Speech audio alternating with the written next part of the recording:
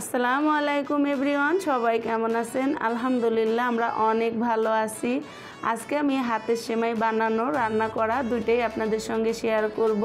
আর এটা খুব সহজ একটা রেসিপি আমি যেহেতু সিরাজগঞ্জের মেয়ে, আমাদের সিরাজগঞ্জের লোকেরা এই সেমাইটা খুবই পছন্দ করে। আমার মা এই সেমাইটা আমাদের বানিয়ে খাওয়াইতো। এটা আমাদের খুবই পছন্দের একটা খাবার। আর আমি চাউলের গুঁড়া যে সিদ্ধ করে নিয়েছি, সেটা আর আপনাদের সঙ্গে শেয়ার করা হয় নাই।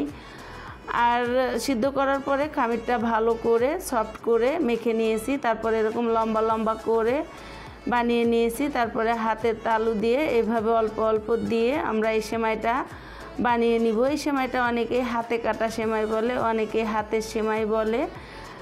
আমরাও হাতের সেমাই বলি এটাকে। আর এটা ঈদে বিশেষ করে আমরা ঈদে এই সেমাইটা বেশি খাওয়া হয় আর ঈদের টাইমে এটা বানানো হয়। আর এটা বানানোর সঙ্গে সঙ্গে রান্না করে খাওয়া যায় বা আমার মতো করে রোদে দিয়ে আপনারা সারা বছরও সংরক্ষণ করে রেখে দিতে পারবেন।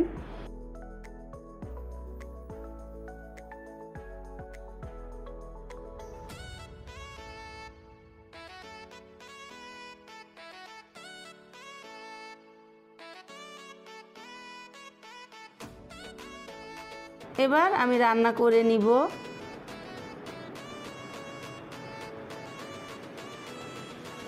আমি হাফ কাপের মতো সেমাই নিয়েছি।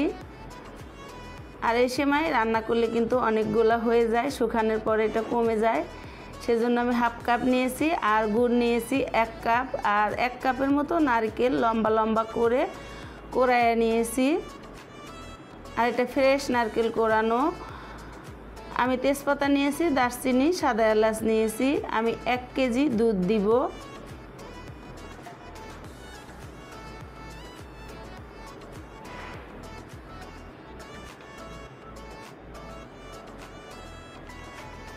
এক কেজি দুধ দিলাম, দিয়ে এবার আমি নাড়াচাড়া করে বলক উঠে আসলে তার মধ্যে আমি লবণ আর তেজপাতা, দারচিনি, সাদা এলাচ দিব।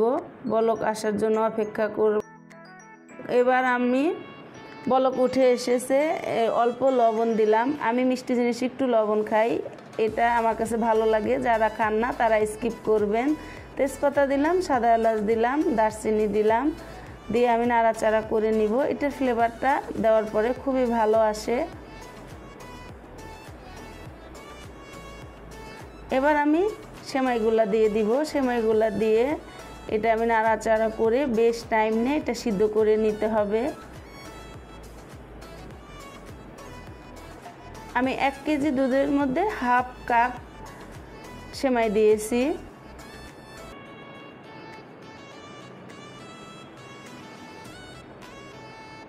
আমি বেশ টাইম নিয়ে এটা সিদ্ধ করে নিব। যেহেতু এটা রোদে শুকানো, সেজন্য সিদ্ধ হইতে সময় লাগবে।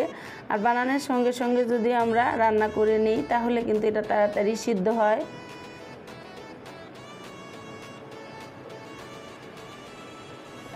আমি একটু চেক করে নিব এটা সিদ্ধ হয়েছে কি না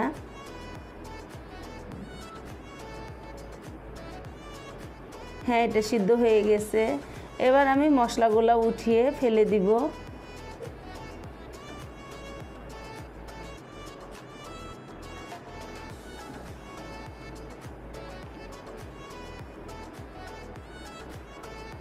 আর বেশ ঘন হয়ে যাচ্ছে। এই টাইমে কিন্তু ভালো করে নাড়াচাড়া করে দিতে হবে, না হলে নিচে লেগে যাবে।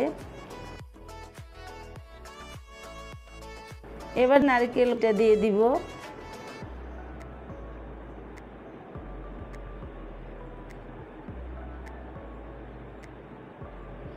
দিয়ে আমি আবারও দুই মিনিটের মতো রান্না করে নিব। যেহেতু সেমাইটা সিদ্ধ হয়ে গেছে, কিন্তু নারকেলটা দুই মিনিটের মতো জাল করলে নারকেলটাও সিদ্ধ হয়ে যাবে। এবার আমি নারকেলটাও সিদ্ধ করে নিব। আর বেশ ঘন করে রান্না করে নিতে হবে। যেহেতু আমি গুড়টা আলাদা জাল করে দিব, সেজন্য একটু ঘন করে রান্না করে নিলেই ভালো হবে। তাহলে গুড় দেওয়ার পরে এটা পারফেক্ট হবে। আমি এক কাপ গুড় দিলাম, হাফ কাপ পানি দিয়ে এটা জাল করে নিব। আর আমরা যদি ডাইরেক্ট সেমাইয়ের মধ্যে গুড় দিতাম, তাহলে অনেক সময় গুড় দেওয়ার সঙ্গে সঙ্গে দুধটা নষ্ট হয়ে যায়। তখন কিন্তু দেখতেও ভালো লাগে না, খেতেও ভালো লাগে না। সেই জন্য গুড়টা আলাদা জাল করে ঠান্ডা করে দিলে নষ্ট হওয়ার ভয় থাকে না। আর আমি সবসময় এভাবে করেই দেই। আমি ভালো করে একটা বলক উঠে আসলে এটা চুলার হিটটা বন্ধ করে দিয়ে আমি ঠান্ডা করে নিব। আর আমি ঠান্ডা করে নিয়েছি। আর আমার সময়টাও কিন্তু বেশ ঠান্ডা হয়ে গেছে। এবার আমি দুইটা একসঙ্গে ভালো করে মিলিয়ে নিব।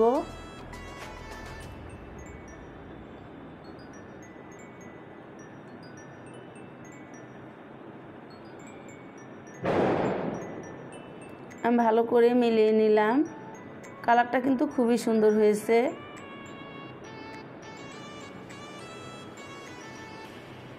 আর এই সময়টা ঠান্ডা ঠান্ডা খেতে বেশি ভালো লাগে।